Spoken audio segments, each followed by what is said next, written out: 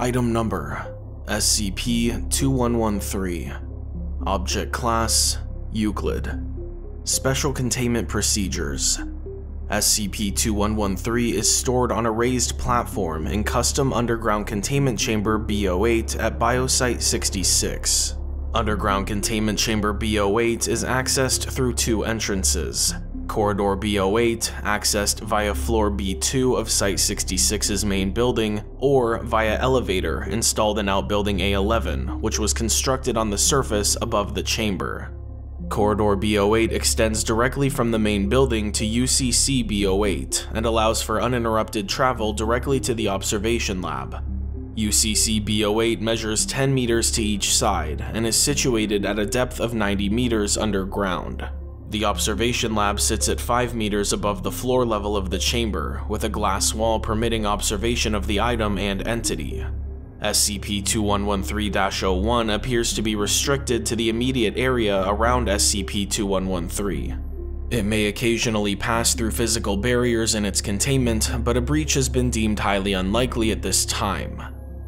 Description SCP-2113 is the collective fragments of an incomplete fossilized skull, identified as belonging to a member of the species Liopleurodon ferox, an aquatic pliosaurid apex predator that existed during the Jurassic period. The specimen was recovered in a damaged state, with a majority of fossil fragments embedded in a stone matrix with a combined weight of 133 kilograms. The remainder of the skeleton could not be located during SCP-2113's excavation, despite efforts by paleontological teams scouring the area over eight months following initial recovery. SCP-2113-01 is a large, insubstantial entity measuring 6 to 8 meters long, closely associated with SCP-2113. It is actively mobile and faintly luminescent, with an oblong shape that tapers to a blunt point near its front.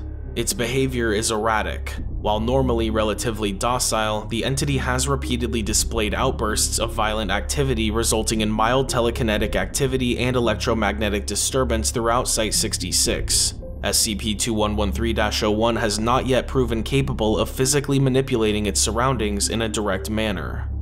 Mental effects when in a docile state and approached by a human, SCP-2113-01 will vanish and not reappear until a period of time has passed, usually lasting between 4 and 9 hours.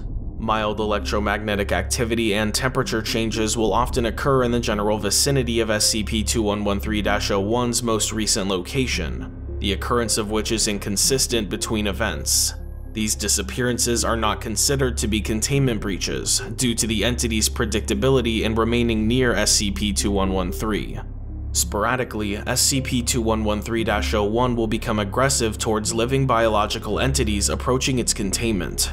When in an aggressive state, SCP-2113-01 will remain suspended still in the air for periods of 20 minutes to 2 hours at a time, moving rapidly to bite prey targets that it detects within 10 meters of its location. Due to its non-physical nature, SCP-2113-01 has, in the past, shown capable of moving through physical barriers to reach its targets. It has never been seen to travel more than 100 meters from SCP-2113. Targets bitten by SCP-2113-01 report immediate visual, auditory, and tactile hallucinations, which typically last for a period of 15 to 20 minutes. Additionally, they often experience severe depersonalization and dysphoria, which fade over the course of 7 to 12 days. Victims are usually rendered near catatonic for the duration of this initial effect. Experiences are relatively consistent between victims, with a majority reporting that they found themselves existing as a large animal, presumably Liopleurodon ferox, within a warm aquatic environment.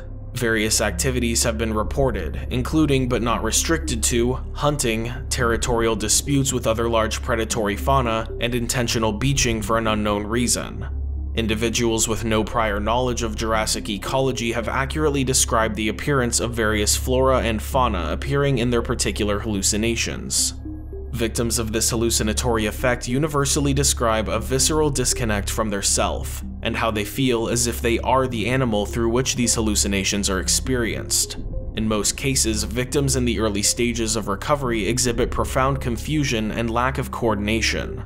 Rehabilitation is gradual but usually successful, with all past victims of this effect having reached a full recovery within 60 days after the encounter. Interviewees have vividly described the instinctive nature of the experiences, as well as specific physical and emotional sensations consistent across events.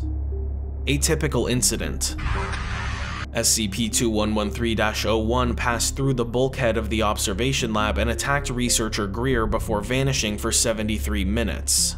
Mr. Greer was rendered unconscious and could not be roused for 2 hours 16 minutes, at which point he became conscious but catatonic. He was put under secure observation for several days, during which he lapsed into brief periods of unconsciousness at irregular intervals. Eleven days after the initial attack, he regained a measure of lucidity and promptly volunteered an account of his experience. A transcribed log will not be provided here due to the length and disorganized nature of his account. Researcher Greer's experience was markedly divergent from the established pattern. While initially set underwater and through the eyes of the animal, as expected, he proceeded to describe a vague event in which the water was singing and cracking, and that his bones were scraped off. He then described in detail a series of sensations throughout his body, as it was buried by sediment and remained in place for an impossible length of time, and that he was there until after the desert was gone.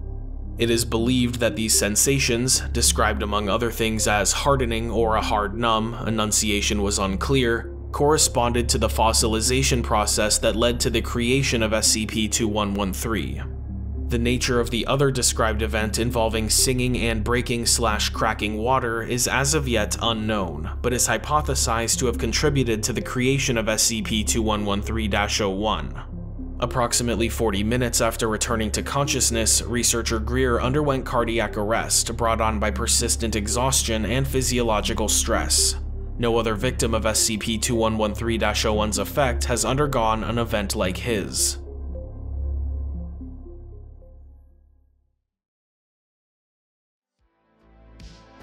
Thank you guys so much for watching and a huge thank you to all of my patrons on Patreon. Special shout out to my level 4 patrons, Lesby Friends, Alexis Zagreat, Scrubversive, Everborn, and Totally Not a Femboy. And a huge thank you to my level 5 patron, Doomsday LLC Prince and Design. If you would like to see your name at the end of my videos, see my videos early, and get some other cool perks, head on over to patreon.com slash drmaxwell, link in the description.